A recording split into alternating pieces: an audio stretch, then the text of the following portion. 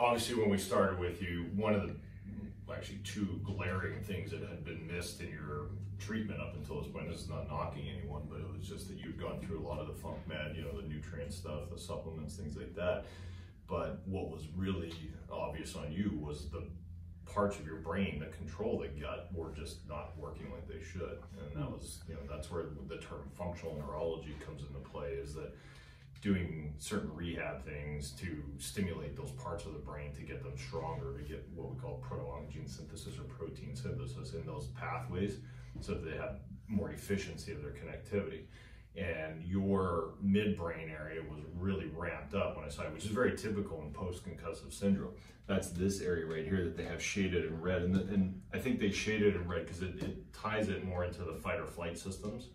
So we need that area to be able to activate. That's what gets us up. It's what makes us run from target, you know, from threats, things like that. But yours was ramped up to the point where it wasn't shutting off. Mm-hmm. Or to say it another way, if your fight or flight system is ramped up, and you, you know, I think I use the analogy with you, like your foot was stuck on the gas, yeah. and we needed to do stuff to be able to put your foot on the brake, which is down here, that vagal stuff, the paramedian pontine reticulospinal system, things like that. So those systems are your resting digesting systems. Well, it stands to reason with what you were dealing with. A lot of times when people lose like oral tolerance and leaky gut and they start developing sensitivities to everything, it's because you know, sometimes it's because, you know, their microbiome's off, they've had toxicity pathogens in the gut, things like that. But even that can still happen when the brain is weak or the brain's in balance. So it can go either direction with that. You can develop problems locally that lead up to brain stuff as well too, like in this tissue. Most people, it's the brain gut origin, like something happens up here and then their gut starts to go down the tube, so to speak. No pun intended on that. All right, so how this was manifesting, like some of the things we saw like on your VNG was when your eyes were looking or moving up and down, remember they would just drive in together, they like basically cross. Well, now your eyes are holding that nice vertical plane like they're supposed to. Um, the other thing that was happening before is when you were doing certain things with um, uh, like gaze holding, when you would fatigue really quick. Like your eyes were were um, the the hippus of the pupils, and the you know your eyes. Heck, you could even hardly keep your eyes open on some of the stuff on there before. Um, and now those kind of things, like you're able to maintain your positioning longer. You're able to. So basically, some of the stuff that would indicate like this area of the brain stem right here is for your gaze holding centers, for example. Mm. And that one is showing that you can maintain that much longer now. Okay. Conversely, the stuff that was showing that this was overactive, i.e., the eyes driving in, that's not doing that anymore. So we, you know, it's a combination of yeah. Not only did we start taking your foot off the gas, we were also putting your foot on the brake system. So it was a double win across the board your saccades were still a bit slow and whatnot. That's why, but you know, really, to be honest with you, that wasn't my focus with you. Mm. I can, you know, anytime I see you in the future, I'm going to do a little bit more like frontal lobe activation and things like that. But this was the meat and potato stuff. This was obviously why you're here to see me. We can always optimize neocortical stuff. So the newer part of the brain, you know, it looks like the boxing glove kind of thing we're gonna, you know, anytime I have you, I'll still do stuff. We'll still do stuff to reinforce what we we're working on here. Um, but we'll also bring it up and keep working higher up into the system because obviously that's there's always room for improvement with all of us. Like you know, that's just a given. But um, but we'll, we, we wanted to get the nuts and bolts under control first, and then so that you can start getting more of that that oral tolerance. Second thing, obviously, was tied into that was both directly and indirectly was all your biomechanical stuff, like the chiropractic stuff that really hadn't been addressed either. So now, like your neck's moving well your jaw muscles are much more balanced. So part of that wind up, especially on your right mesencephalon, was your your whole right side, like your sternocleidomastoid. Um, you know, the I should say the right mesencephalon, but the right wind up stuff, like your TMJ imbalance, the right SCM balance, that kind of stuff. That was you know as a byproduct as well too, because that's directly there's some linkage to that as well. So both segmentally from your neck, like the impact and anything else going on, computer stuff, things like that and then the actual neurological wind up too, like your chewing muscles are tied into that system. Um, I always use the example, and that's why you're not like having to use your mouth guard, and yeah, because that that foot stuck on the gas system. Well, now that we've been able to take that off mostly, now you don't, you know, you're not losing that frontal inhibition and it work just start to wind up and, and clench and grind. So, so those are all just windows to both like directly and, and indirectly neurologic. So when I say directly, obviously we did some stuff to release this whole area directly, but also indirectly the neurological pathways that would, you know, be dialing that up. We've dialed that back down as well too. So what does all that mean in practical terms? Well, obviously now you're able to get into more of a lower brainstem resting digesting state, which bodes well for as we start to introduce the foods. And that now is the you know the true test of all that stuff as we get more into that you know moving forward from this day on kind of thing. And as you continue to build up that oral tolerance, um, and the GI lining is going to be more intact and more receptive to everything. Because all, you know, when this is firing properly in here, like I showed you on this diagram, you know, that's your control valve for all of this stuff, like pancreatic activity, liver enzyme activity, gallbladder release, uh, kidney function, stomach acid production, like everything is based on, on that area. So now that we've turned on that the keys to the ignition there, that just it's going to allow for you to have you know these systems in play where instead of your body fighting everything that you're eating and developing sensitivities to everything when the now it gives it a fighting chance to say okay now it's breaking it down into the micromolecular structure that's supposed to be for absorption that won't trigger an immune response.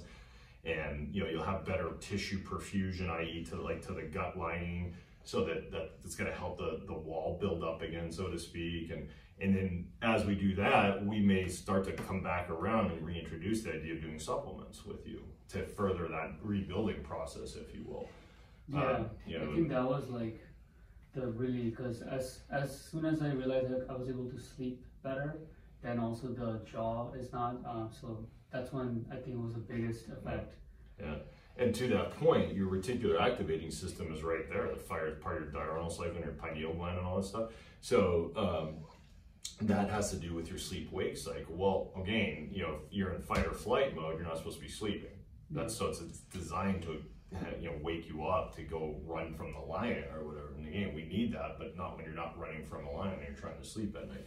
So that was all part, same thing. That was all part of taking your foot off the gas on that. So it stands to reason that all that stuff, as we wound that down, that inversely related to that is the jaw feeling better, the less grinding, less, you know, waking up or better sleep cycles, et cetera, et cetera.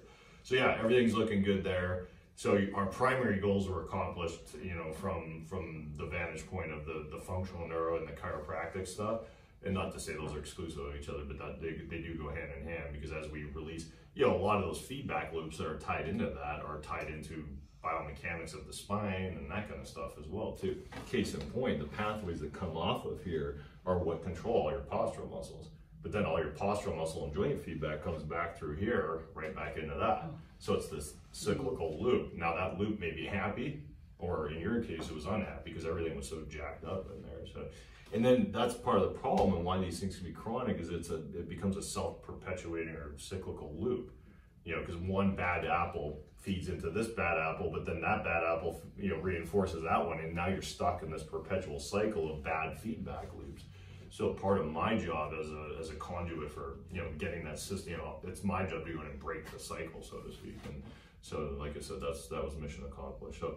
So moving forward, what we're going to do is is have you start to you know slowly introduce stuff um, with your food sources, and then I'll I'll follow up with you sometime. I'll talk to you guys more about that at dinner, but um, we'll kind of play it by ear as to you know when you guys will you know I'm going to kind of gauge it on maybe like a two or three week window uh, where I'll have you pop in again just to check in and see how you're doing. And if things are holding well and you're continuing to progress, we'll kind of you know play it off that. So, for sure. All right, questions.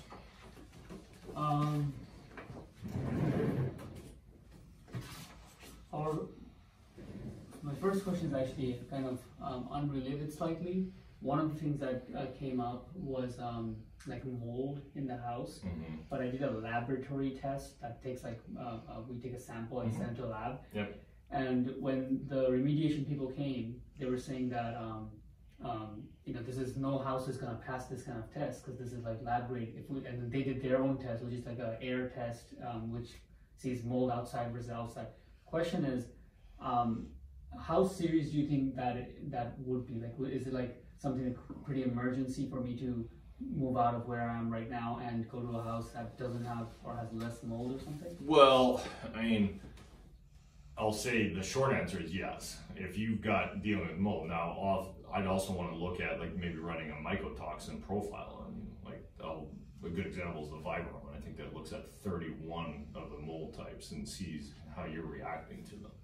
Oh, So we can run that mycotoxin test, and it's like arguably the most accurate on the market to see are you developing inflammation and immunological responses to you know black mold or whatever. Um, so that's something that we can actually look at so that you can make a better informed decision before you jump ship and, and move out of the house. So, right. um, it, but yes, I mean in short, mold will derail everything. Like it's definitely one of those pathogens that can be you know, certain molds are more pathogenic and more virulent and whatnot that you know have a greater effect on the human body than others. But it's something that we could uh, definitely look at. Now, also, uh, don't even forget because I'll talk to you about re- mold remediation stuff and some ideas, and and I'll bring my um, MacBook in when we go for dinner. And I'll show you what we use for our mold protocols and everything. So I'll just go over the whole thing with you. Okay. Okay. sure. That sounds good. And then the, I guess the next one would be like, um, like based on you know what we've seen and moving forward. Um, as you said, you know some of the stuff we can do on the top, but still, um, um, you know, stuff we'd be doing in line with what we already did. What are some like um, things we haven't really, let's say, couldn't do because I was you know way worse before on the same, you know, everything to do with fight or flight. Yeah. I wouldn't say you couldn't do anything I needed to do on that front. Like you, you were able to tolerate once we got things going. You were able to tolerate everything we would do for vagal stim in the office, and based on your findings. So um, there wasn't anything that was like kind of like left out of the equation. Now it's getting just more into, you know, with this say, I when I teach, I'm like, this is the tree trunk of the nervous system. I think I might have said that to you, and then everything branches out from there. So it will have an upstream effect or up tree effect, like the branches, the the leaves, all that stuff. You know, we can always keep improving that to flourish and while maintaining the integrity of that system. But it wasn't like we couldn't like, oh, he's not tolerating that at all. It's really just your stuff that you have to start to implement, not have to, but are going to start implementing at home as far as reintroducing the foods.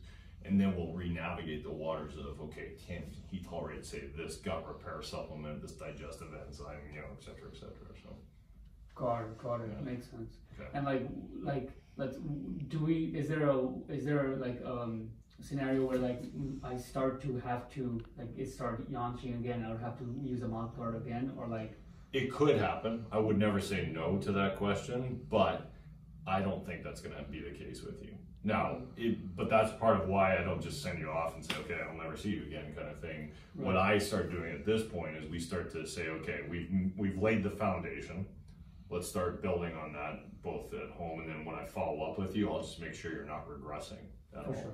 so that we don't, you know, and, and if you tell me, like Trevor, I went, up, you know, this week and I, all the wheels fell off or something, just call me and say, hey, you know, if I, if I, whether it's now or a year from now, if I haven't seen you in a while and you feel like stuff is winding up, don't hesitate to say, I got to get in and get tuned up and Right. do some stuff. So don't ever feel like just because you're booked out to a certain point that you can't call and preemptively cut that off at the pass. So, because there's not, that's not the problem with this. That I always find this the hardest part of treatment plans is there's not a an exact science to that transition. It's more of a trial and error thing to say, okay, let's see how you do with two weeks. Let's see how you do with three weeks. You know, and so on and so on. So For sure. Okay. That makes sense. good.